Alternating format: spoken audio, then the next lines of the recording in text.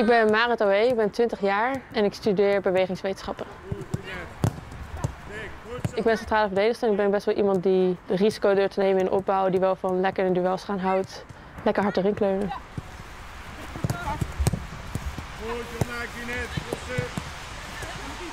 Altijd bij de jongens gespeeld en daarna bij PEC Zwolle gekomen. Ik ben een jaar in Amerika geweest. Een jaar in Amerika, Ja. in Dallas. Ja, Hoe was dat? ja heel, heel mooi. Echt een hele ervaring. Daar is de combinatie topsport en school eigenlijk heel makkelijk, want alles wordt voor je geregeld. Lessen worden voor je veranderd, trainingen, alles wordt aangepast. Dus eigenlijk hoef je daar zelf niks te regelen.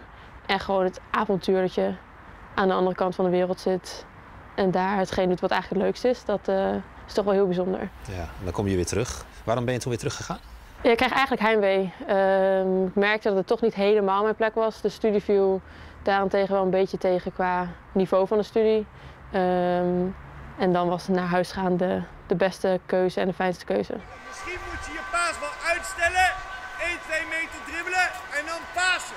Dus je zult moeten communiceren met elkaar. Waarom koos je voor de Rijksuniversiteit? In principe omdat het best wel dicht eh, bij Zwolle ligt. Ik had eigenlijk de keuze bij of uit Amsterdam of Groningen. En dan trekt Groningen mij toch meer.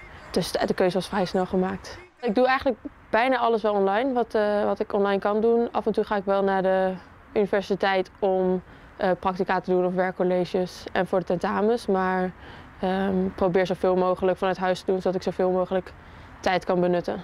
En het levert ook op allebei de vlakken veel op. Want als ik alleen de focus op de voetbal heb, dan is dat niet ideaal voor mij. En alleen de focus op school is ook niet altijd ideaal. Dus de combinatie is voor mij daarin perfect.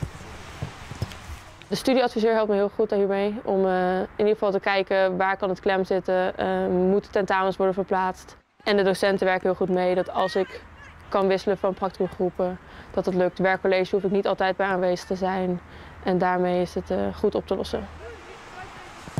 Als jij hebt gekaatst en Mera krijgt hier de bal, zijn die laatste twee, die rechter, daar gaat hij doorheen en daarachter ontvang jij hem. Ik vind de studie wel belangrijk om dat eh, ernaast te doen. Zeker ook als afleiding, om niet altijd alles op de voetbal te hebben.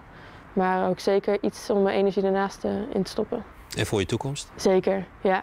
Want uiteindelijk weet je gewoon niet wat gaat gebeuren. En is het vrouwenvoetbal nog niet zo ver voor iedereen om daar je toekomst van te maken. En dan wil ik mezelf wel daarin uitdagen en een beetje zekerheid eh, hebben.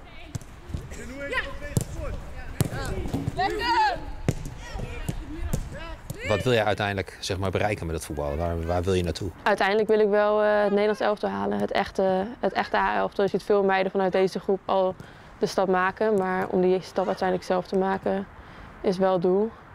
En natuurlijk een stap naar een betere club. Naar de top drie of buitenland. Dat is eh, wel het doel.